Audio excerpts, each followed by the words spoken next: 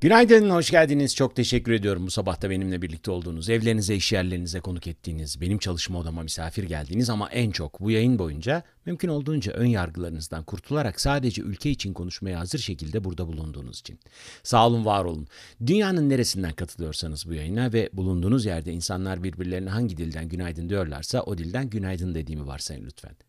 Rojbaş, Pariluis, Good morning, Guten Morgen, Bonjour, Buongiorno, Dobry utro, Dzień dobry, Yoregel, Tuamenta, Selamun aleyküm, Kalimera, Sabah elayir, Boreda, Habari, Dilam Şvido Bisa, Dogina, Nihao, Buenos dias, Aloha ne diyorsanız.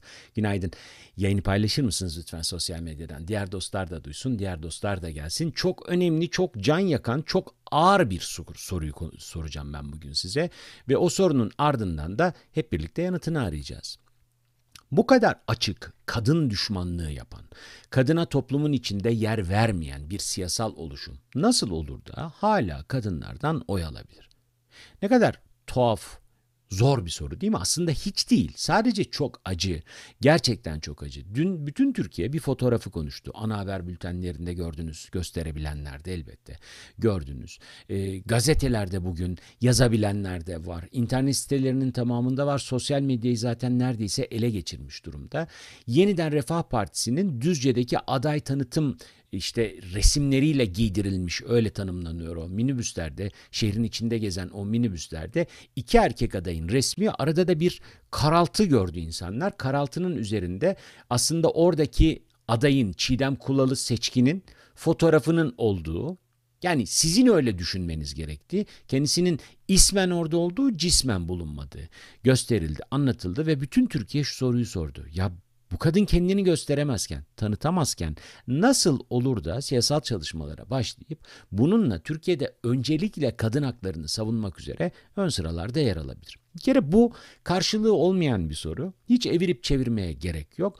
Bu tiplerin hiçbiri için zaten kadın yok. O sadece kadınlardan oy alabilmek için bir gerekçe. Yani göstermek zorunda. Böyle sürekli askerlik şubesi gibi gezen, fotoğrafa baktığında bile odanın, ortamın kokusunu alabileceğiniz o erkek yoğun toplulukların içinden bir kadına o istenmesi, o kadının varlığının kabullenilmesi elbette mümkün değil. Elbette böyle bir durumda bunların bir kadının varlık sebebi olarak toplumun içinde bir varlık sebebi olarak toplumun daha ilerlemesi için elinden geleni yapacağına yönelik gayretini gösterebilmesine bir ortam hazırla, hazırlamaları bunu düşünmek bile mümkün değil. Peki neden oluyor kardeşim? Asıl sorun bu. Çünkü bugün bakıyorsunuz özellikle Cumhur İttifakı'nın mitinglerinde ön sıralarda yoğun olarak kadınlarla erkekler göstermeden ayrıştırılıyor zaten. Ön sıralarda yoğun olarak kadınları görüyorsunuz. Kadınlar gerçekten kendi geleceksizliklerini mi alkışlıyorlar orada? Ya da ona oy vermek için hakikaten hepsi gümbür gümbür bağırarak mesela birinci sıra adayı Nezir Mert Türk'ün ya da üçüncü sıra adayı Mithat Kütükoğlu'nun fotoğraflarının arasında karaltılarının yerleştirilmesi gerçekten onlar için yeterli mi? Bugün biraz bunu konuşalım. Çünkü önümüzdeki seçim ki artık çok az bir zaman kaldı. 13 günlük, 12 günlük bir süreden bahsediyoruz hepi topu. Türkiye'de hani daha önce bir yayında söylemiştim ya ne Kürtler, ne milliyetçiler, ne sosyalistler hepsini geçin. Kadınlar ve gençler bu seçimin sürükleyicisi olacak. Çünkü toplumun içinde birincisi 5 milyonun üzerinde 6 milyon civarında ilk kez oy kullanacak genç seçmen var. Bunların %52'sinin kız çocukları olduğu söyleniyor. Onun yanında öbür taraftan baktığınız zaman toplumun %51'inin kadınlardan oluştuğunu düşününce seçmen olarak onların da zaten ortada olduğunu, daha fazla bir oranı temsil ettiklerini söyleyebilmek mümkün. Bu yanlış olmayacak. O zaman seçmenin %50'sinden fazlasını hem yeni hem de sabit seçmenin %50'sinden fazlasına sahip olan insanlar nasıl olur da bir karaltıyla temsil edilir? Ama beni asıl ilgilendiren şu Mesela Millet İttifakı'nın içinde üstelik başbakanlık görevi tevdi edileceği daha ilk günden anlatılmış bir kadın aday varken nasıl olur da kendisinin geleceğini yok edeceğini söyleyen, açık açık bunu yapacağını beyan eden ve bundan zerre kadar da rahatsızlık duymayan bu tiplerin yanında yer alabilir? Çok can yakıcı bir soru ama bu soruyu tartışmak, konuşmak zorundayız. Çünkü bu toplumun ilerleyebilmesi için önce kadının ilerlemesi gerekiyor. Hani size daha önce burada 8 yıllık yayınların içinde söyledim ya sıkça. Benim gazetecilik tecrübemin bana öğrettiği tek şey var. Sadece bir tek şey. Hepsini herkes her yerde yapabilir. Herkes her yerde görebilir. Ama mesleğim gereği yaptığım o fazla sayıda seyahatte 50'nin üzerinde ülkede Gördüğüm ve sizinle de paylaştığım, ayrıca Türkiye'yi en az iki kere başından sonuna gezmiş bir insan olarak gönül rahatlığıyla söyleyebileceğim ve bu konuda da hiçbir kıvırtmayı, başka şeylerde de yapmamaya çalışıyorum ama bunda özellikle önde olarak anlatıyorum. Sokağında kadının istediği saatte istediği zaman özgürce tek başına gezemeyeceği hiçbir ülkeden, hiçbir kentten hiçbir şey olmaz. Mümkün değil. Bunun bir tane örneğini gösteremezsiniz. Çünkü kadının özgürlüğü aynı zamanda hani bunlar çok kutsuyorlar ya bir kadın için en üstteki kariyer olarak görüyorlar. Aile kurmak, çocuk yetiştirmek falan. Oradan bile baksan kadının eğiticiliği anlamında, aile içindeki eğiticiliği anlamında toplumun ilerlemesi ya da ilerlememesi konusunun en net göstergesi. Peki soru hala ortada duruyor. Soru hala son derece net. Nasıl oluyor? Bakın hatırlamıyor insanlar ama Aydın'daki Yeniden Refah Partisi'nin kadın aday tanıtım toplantısında benzer bir kavga çıkmıştı zaten bunu gördük. Ve orada bağıran e, tiplerden, kütlelerden bir tanesi diyordu ki buradaki bayanı bir milyon kişi görecek. Bir milyon kişi bir bayanı görecek. Diyelim ki, diyelim ki o kütle yani sonuçta uzayda bir yer işgal ediyor ona bir tanım bulmak zorundayız. O kütle diyelim ki bu kadını seçtirdi oylarıyla. Niye seçtirdiğini eminim kendi de bilmiyordur ama o kadına oy verdi, seçtirdi. Meclise geldiğinde, meclis çalışmaları yaparken, televizyon ekranının karşısına geçtiğinde yani TRT 3'ten Meclis TV yayın yaparken kaç milyon kişi görecek onu? Onun için önemli olan o değil ki. Çünkü o aslında orada niyetini beyan ederken varlığından mutlu değilim demeye çalışıyor. Ama bir şekilde getirildi. En azından göstermeyelim. Tıpkı burada bu seçim minibüsünde yapıldığı gibi. Burada bu kadar itirazın üstüne insanlar hani bu itirazı bir şekilde bertaraf edelim diye ne yaptılar fark ettiniz mi? Kadının karaltısını yok ettiler. Yani kadının aslında ismiyle birlikte karaltısı da yok oldu. Kendi hayır aday listesinde duruyor hala. Bu ikiyüzlülük kendileri açısından tanımlandığında takiye diye tanımlanabilecek bu kavram aslında bugünün siyasal İslamcılığının en net göstergesi. Üstelik ortada bu kadar rahat dururken insanların hala götürüp bu kütlelere oy atabiliyor olması asıl üzerinde tartışılıp ciddi anlamda sosyolojik değerlendirme yapılmaya muhtaç bir konu. Nasıl oluyor da kadınlar kendi geleceksizliklerine oy veriyorlar? Veriyorlar çünkü. Yani orada o karaltının bir kadın olduğunu düşünen kadınlar var. Altında adı yazıyor diye düşünüyor. Altında adı yazıyor demek ki oy verirsem o görünür olacak. Oysa ona görünürlük hiçbir şekilde vaat edilmiyor ki. Aday tanıtım toplantısından bakın parlamentoda yapacağı çalışmalarda da görünür olmasına kadar hiçbir alanda Türkiye öyle acayip örnekler yaşıyor ki bu örnekleri yeni gündem maddeleri sürekli değiştiği için ortaya çıktığı için unutuyor, aklından kaçırıyor sürekli.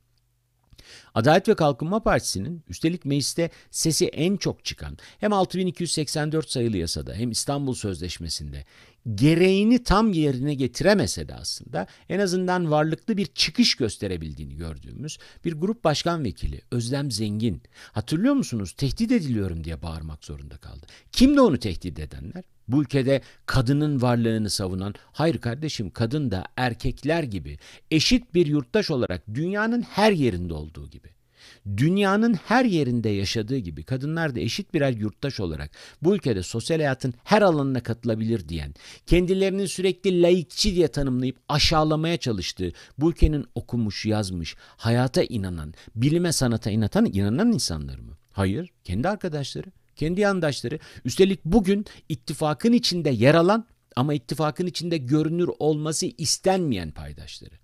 Bir pilot montuyla çakma bir Tom Cruise gibi siz çıkıp bir uçağın kokpitine yerleşip boy boy fotoğraflar verip seçimden sonra benim ülkem, ülkemin insanları asla terör örgütüyle kol kola girmiş birine bu görevi devretmez, vermez demeyi övünç vesilesi sayan insanlar o toplantılarda yok muamelesi yapıyorlar. Tıpkı o minibüsün üzerinde olduğu gibi. Mesela Hüdapar'ın ismiyle Yeniden Refah Partisi'nin ismi de o toplantıda anılmıyor. Hiç kimse anmıyor üstelik. Hiç kimse. Ama var olduğunu herkes biliyor. Tıpkı oradaki bu kadın aday gibi. Yani var ama görünmemesi gerekiyor. Neden? Bu utanılacak bir şeyse neden yapıyorsunuz? Utanılacak bir şey değilse neden çağırmıyorsunuz toplantılara? Bu ikiyüzlülük bugün Cumhur İttifakı'nın, Cumhur İttifakı bileşenlerinin ama Türkiye'de en çok siyasal İslamcı ikiyüzlülüğü olarak tanımlanmak zorunda. Çünkü kadının toplumsal hayat içinde kendisi tarafından biçilen role soyunmasını, soyunması kelimesini de ısrarla kullanıyorum. Kendisi tarafından biçildiği zaman soyunmasını, ısrarla alkışlayan, onun dışında görünür olmasını istemeyen bir alçak düzen bu. Daha ötesi söylenebilir mi? Bu ülkede yaşayan sıradan kadınlar o fotoğrafı gördüğünde ne hissetmiş olabilir?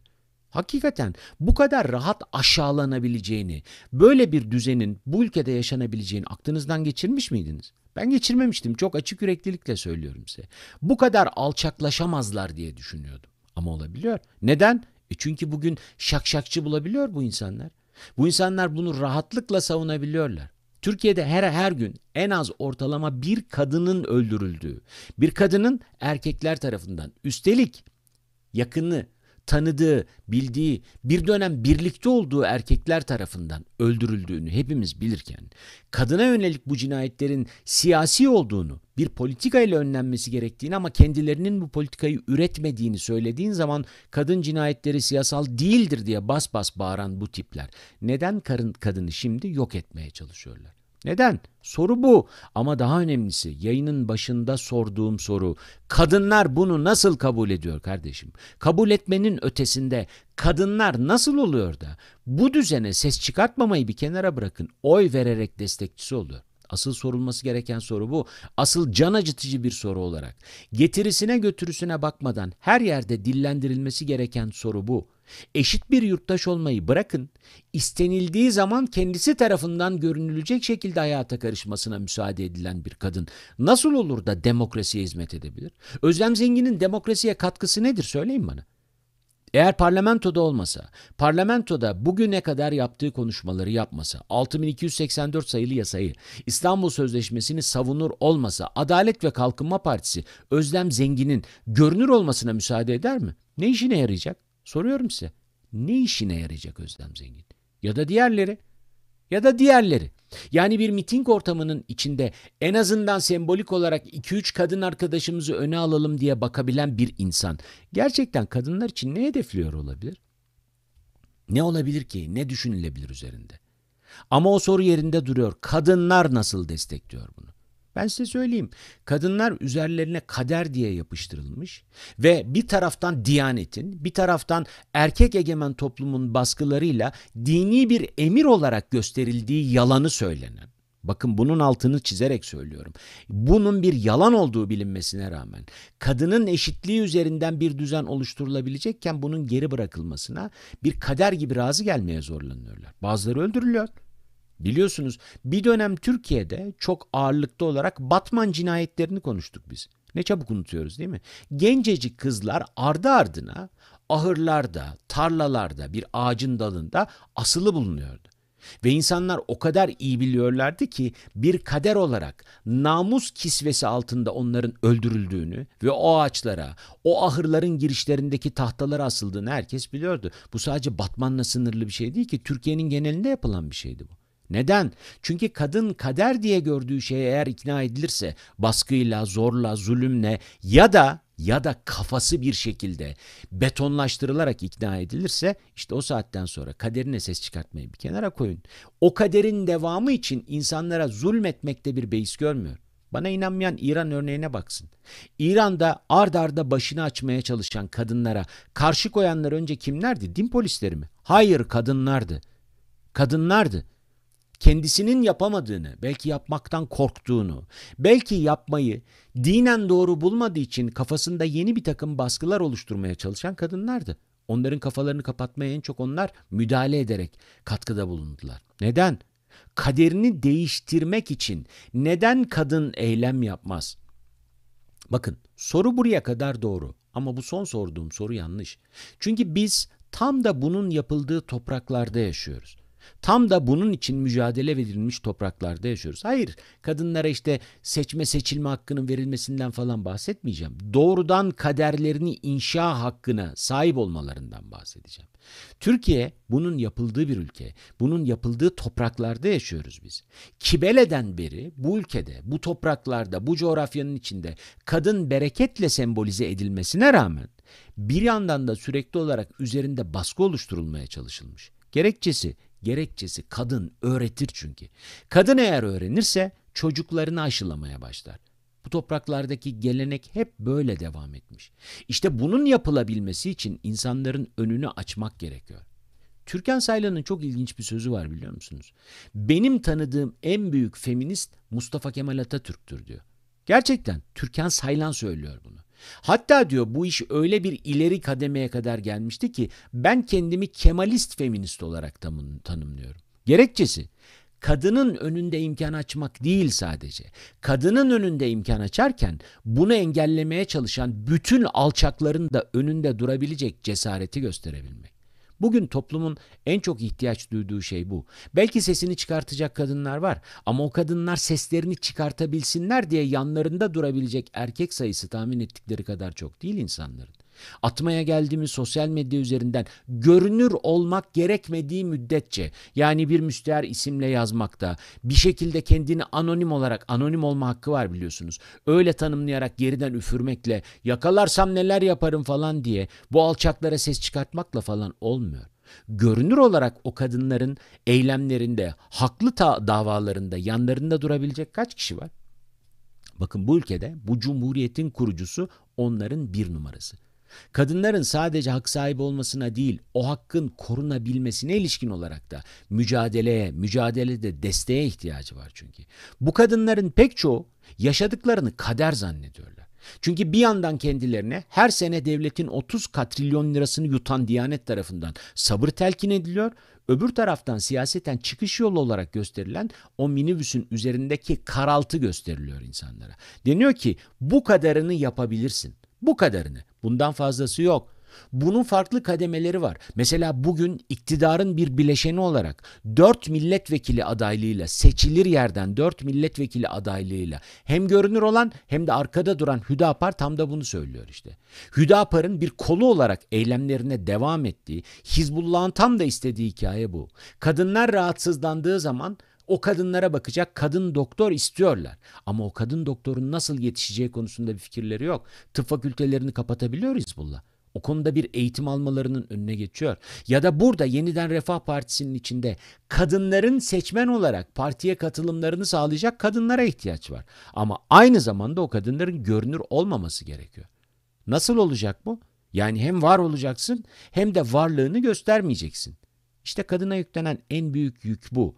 Sen içinde o kadar yüce bir varlık olacaksın ki hem var olacaksın hem de varlığınla övünmeyeceksin.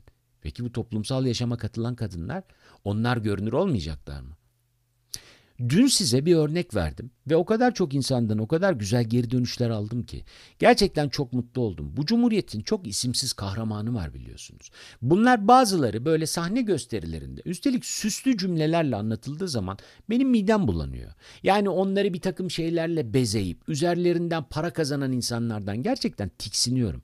Çünkü o insanları anlatmak değil dertleri. Onları güzelleyerek kendilerinin onları tanıdığını gösterebilmek sadece.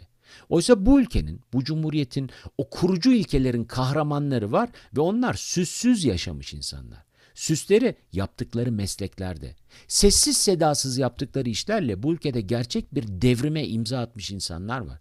Ve bu alçakların pek çoğunun sevmeyeceği şekilde onların içinde pek çoğu da kadın. Üstelik zamanında kendisine asla yapamazsın denilen şeylerin önüne çıkarak bas bas bağırarak yapmış ve bunu topluma kabul ettirmiş kadınlar. Türkan Saylan'ın adını andık demin. Rahmetli Türkan Saylan kanserin terminal aşamasında artık ölüm saatini beklerken kendisine gösterilen zulmü, sonra o zulmü gösterenler, gösterenler bunlar FETÖ'cüydü onlar yaptı diyerek kendilerini aklama çabasını ama her türlü fırsatta Türkan Saylan'ı aşağılamak için tek bir cümle bile ziyan etmeden konuşan insanları hepiniz tanıyorsunuz değil mi? Biliyor musunuz? Türkan Saylan'ın hayatında şöyle bir şey var. Bu ülkede, bu coğrafyada cüzzamı bitiren kadın olarak tanımlanıyor Türkan Saylan. Ama sadece o kadar değil. Türkan Saylan aynı zamanda bilimle uğraşabilmek için hayatından büyük fedakarlıklar yapmış yapmış ve bunu söylememiş bir insan. Bunun önüne geçmemiş bir insan. Sadece bilim kadını, bir bilim insanı olarak dünyanın herhangi bir yerinde yapabileceği şeyi çok zor bir seçenekle eşek üzerinde bütün Anadolu'yu karış karış gezerek mesela bir örnek proje alanı olarak belirlenmiş Van'da cüzamın bitirilebilmesi için çalışmaya kendini adamış bir kadından bahsediyoruz. Türkan Saylan ne acayip değil mi?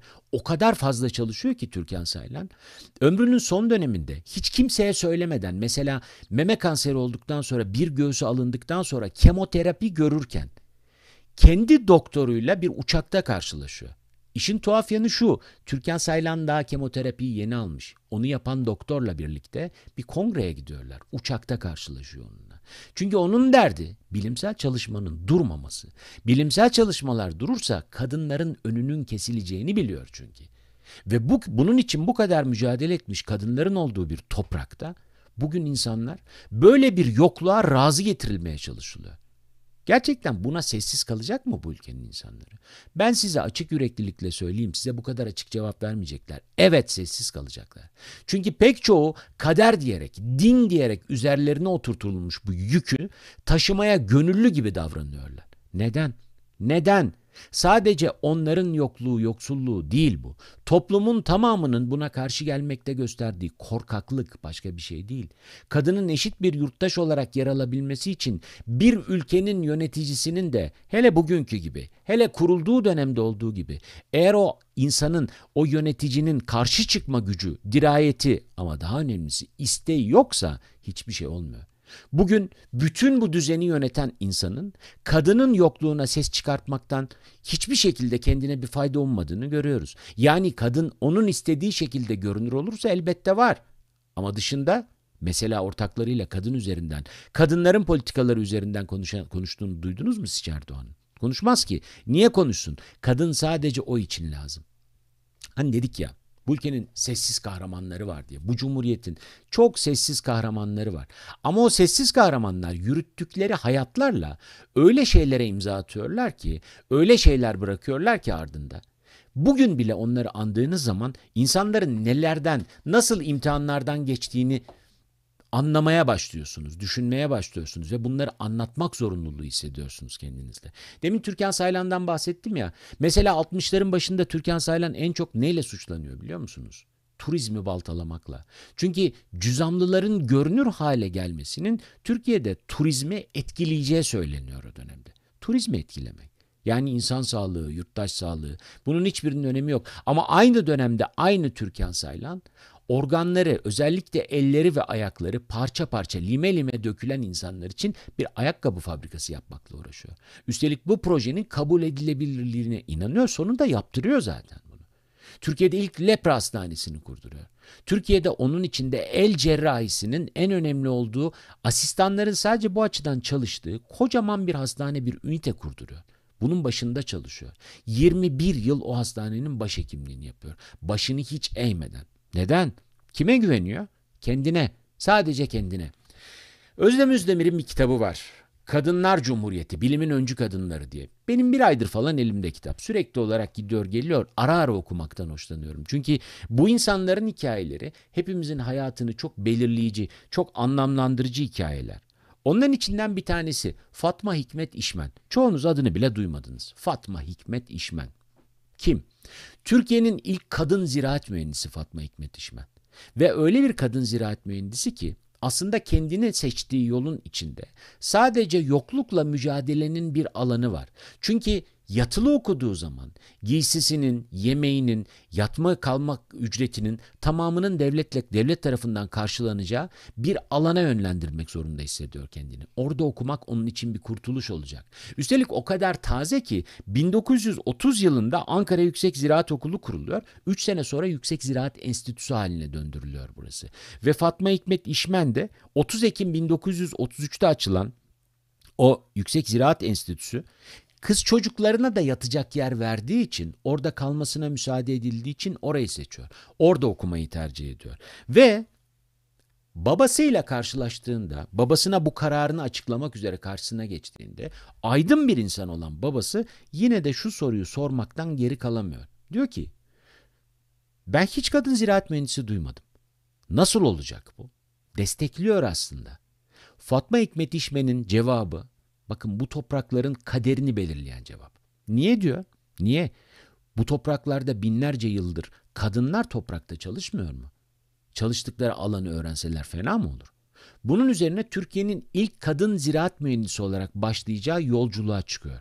Ve onunla birlikte sadece bundan sadece 4 sene sonra okulu bitirdikten 4 sene sonra aynı enstitünün ilk kadın asistanı oluyor. Derdini anlatıyor. Kendi adıyla tanımlanmış tarımsal zirai mücadele içindeki bir takım hastalıkları literatüre armağan ediyor. Ömrü boyunca ömrü boyunca bu alanda çalışmaktan geri durmuyor. Siyasete atılıyor hatta. 9 sene boyunca senatörlük yapıyor Türkiye'de. Siyasette de kadının yerini, rolünü anlatmak üzere. Bu arada evlenmiyor hiç. Ve Fatma Hikmet İşmen'e en sık sorulan soru bu. Neden evlenmiyorsun? Diyor ki ben erkekleri tanıdıkça, bu ülkenin erkeklerini tanıdıkça evliliğin ne kadar gereksiz olduğuna inandım. Çünkü bana benim ihtiyaç duyduğum bir arkadaş, bunun içinde sadece evlenmeye gerek yok. Hayatını tek başına sürdürmeyi göze alıyor. Bütün bunların içinde ve Türkiye'nin ilk kadın ziraat mühendisi olarak ölene kadar, ölene kadar emeğini vermeye devam ediyor. Bir yandan Cumhuriyetin kuruluşundan itibaren yani kadınlar okusun, öğrensin, daha önemlisi öğretsin diye çalışan bir kurucu Öte yandan Cumhuriyet'in 100. yılında kadını yoklukla sınamak üzere, üstelik bunu hiç çekinmeden sokak aralarında gezdirilen minibüslere fotoğraflarla sembolize eden bir bakış açısı. Tercih. Hani diyorum ya hep her sabah. Ya tercih sen yapacaksın kardeşim. Ama bana kalırsa zor bir tercih yok ortada. Sadece bunu anlatmak zorundasın. Bu yayını izleyen insanların pek çoğu bu gerçekleri biliyor zaten. Ama bu gerçekleri anlatmaktan korkmayacaksın. Savunmaktan korkmayacaksın. Çünkü bu karanlık ancak o korkuyla devam edebiliyor. Oysa o karanlığı yırtan kadınları var bu ülkenin. O karaltıya mahkum olmayacak kadınları var. Onların daha çok görünür olması lazım. Ve toplumun tamamının, kadın erkek hepsinin o insanların görünürlüğü üzerinden mutlaka destek vermeleri gerekiyor. Hepinize çok teşekkür ediyorum. Sağ olun, var olun. İyi ki varsınız ve dünyanın bir yerinden hem de aynı şeye inanmadığımızı bilmenize rağmen geliyorsunuz. Doğrudur biz hayatlarımızı aynı yerden başlamadık, aynı şeyleri görmedik, aynı şekilde yetiştirilmedik. Kişiliklerimiz farklı, eğitim durumlarımız, etnik kökenlerimiz, cinsel yönelimlerimiz, engellerimiz, engelsizliklerimiz, inançlarımız, inançsızlıklarımız. Ama hepimizin ortak olarak inandığı bir şey var. Biz bu toplumda birlikte yaşayacağız kardeşim. Demokrasi dediğin şey birbirine benzeyen insanların birlikte yaşaması değil, tam tersine benzemeyen insanların ortak bir gelecek gelecek hayali kurması. O zaman birbirimizden korkmadan konuşacağız. Birbirimizden korkmadan gözlerimizin içine bakarak, çekinmeden ama küfretmeden, hakaret etmeden, tehdit etmeden. Bunu yaptığımız zaman bu karanlığın üstesinden geleceğiz işte. Bu o kötü bakışın üzerinin üstesinden gelebileceğiz ve kendimize daha iyi bir gelecek kurmak üzere adım atabileceğiz. Yeter ki tırsmayalım birbirimizden. Ve aklımızdan hiç çıkartmayalım. Kurtuluş yok tek başına. Ya hep beraber ya hiçbirimiz. Ben saat 10.30'da gazeteleri getireceğim size. Eğer uygunsanız o yana beklerim. Değilseniz canınız sağ olsun. Yarın sabah saat 9'da ölmez sağ kalırsam buradayım. Gelirsiniz hayatımızı konuşmaya orada devam ederiz. Ve tekrar görüşünceye dek hepinize sağlıklı, huzurlu, mutlu, bolluk bereket içinde sevdiklerinizin yanınızda olduğu, yüzünüzün güldüğü çok şık bir gün diliyorum. Hoşçakalın.